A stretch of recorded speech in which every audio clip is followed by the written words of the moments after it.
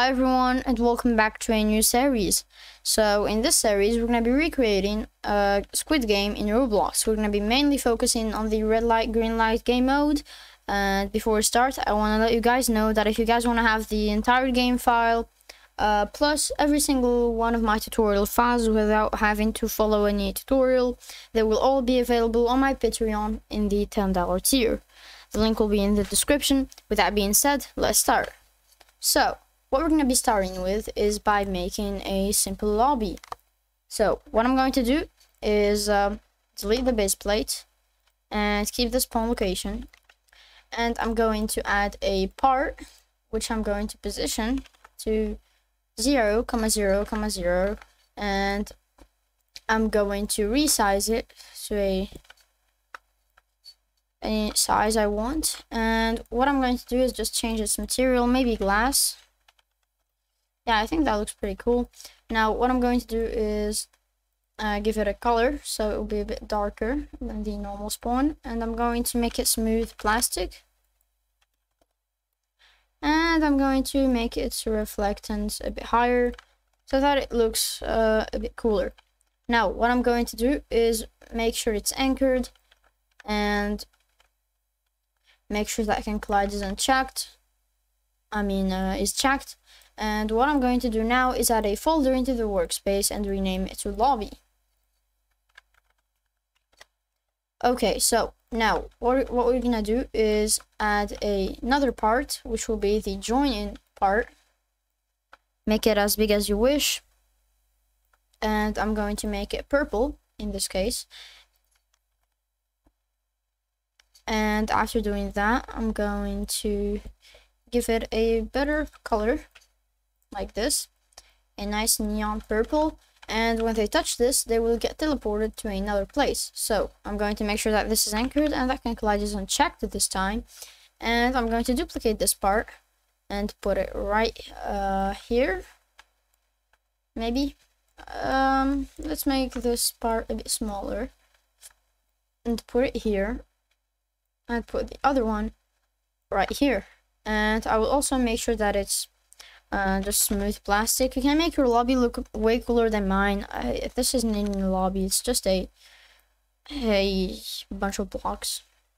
And what I'm going to do is make sure that Collide is checked on this one. And I'm going to add some invisible walls. So, I'm going to duplicate this part, put it right here. And scale this up. And scale this like that and this like this. And this. What I'm going to do now is make sure that all these walls are uh, renamed to invisible wall. And I'm going to make sure that their transparency is set to 1 and that can collide is checked and make sure that they're anchored. Now what I'm going to do is just to rename some stuff. So this will be the teleport. And this will be the join part. So i'm going to rename it to join. And i'm going to select every single part as well as this as the spawn and put it inside of the lobby folder. Now what i'm going to be doing is adding a string value in replicated storage and rename it to status and set its value to nil now what I'm going to do is add a screen GUI inside of starter GUI, rename it to main, and I'm, I'm also going to add a text label, center it,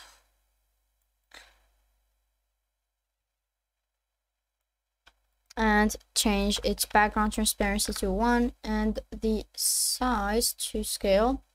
And I'm going to change the text scale property to true and the font to any font of my choice. So in this case, it will be uh, any random font that I can find, like this. And I'm going to change the text color to maybe a nice white and give it a nice little stroke and change the text to uh, three dots. That's three dots. So three. And what I'm going to do now is rename the text label to status.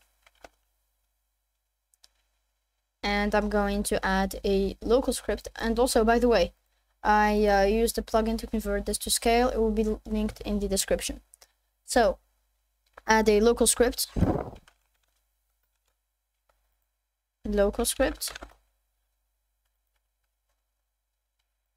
And rename it to uh, main underscore client. Now what I'm going to do is have a variable for replicated storage. So let rep is equal to game, on get service replicated storage.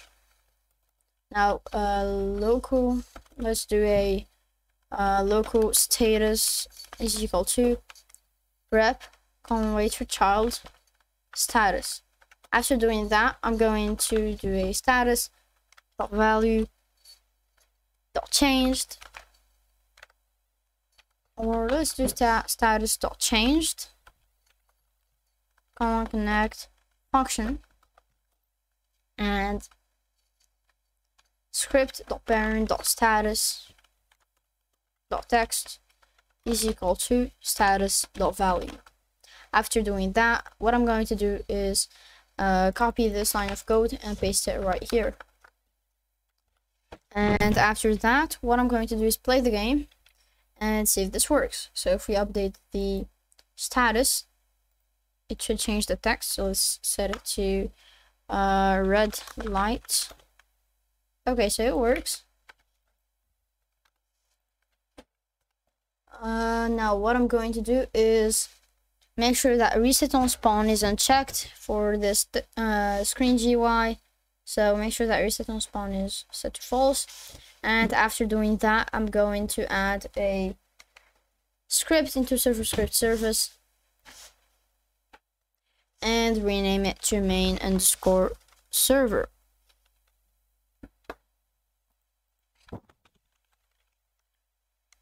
After doing that, I'm going to add some um, I'm going to add a folder into server storage.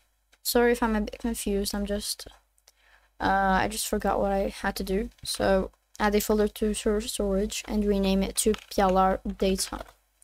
Now add a another folder and rename it to leader stats. Now add a string value into this or a maybe a int value and rename it to wins.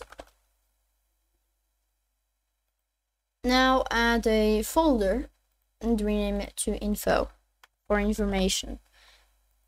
Now I'm going to add a bool value, rename it to isPlaying.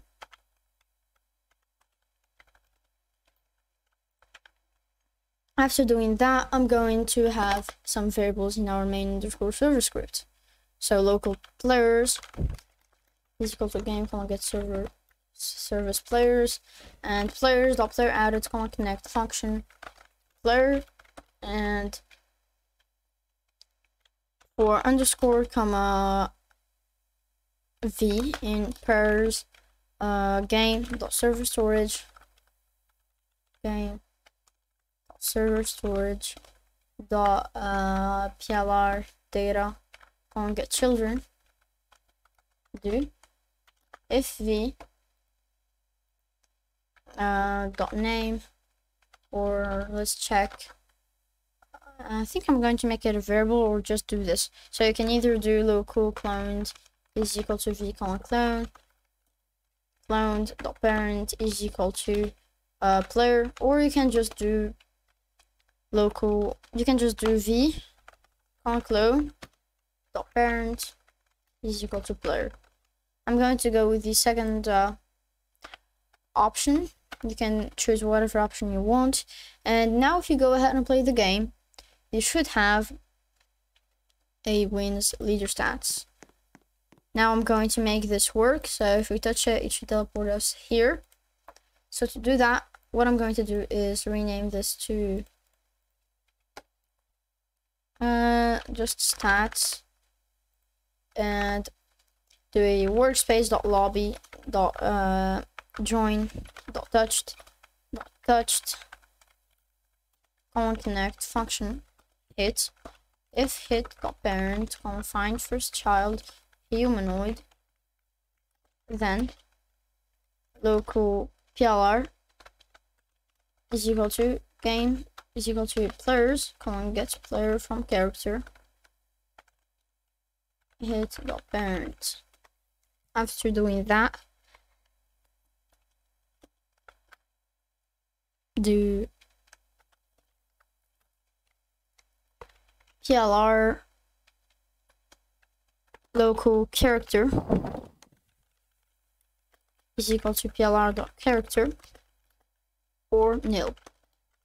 If character is not equal to nil, then okay. So if the character is detected, after doing that, we will teleport them. So character will move to, or let's just do character dot uh, humanoid root part c frame is equal to workspace dot lobby dot teleport dot c frame plus vector 3 dot new 0 comma 5 comma 0 after doing that what we're going to be doing is plr confine first child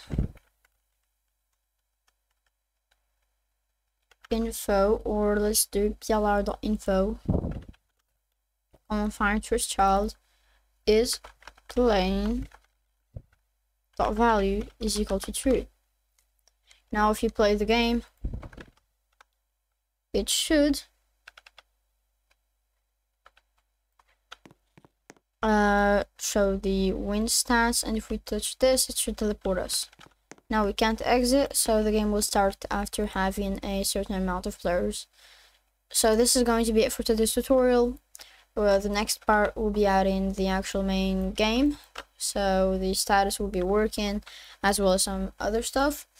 And yeah if this helped make sure to subscribe share the video uh, like the video and i will see you all in the next video. Bye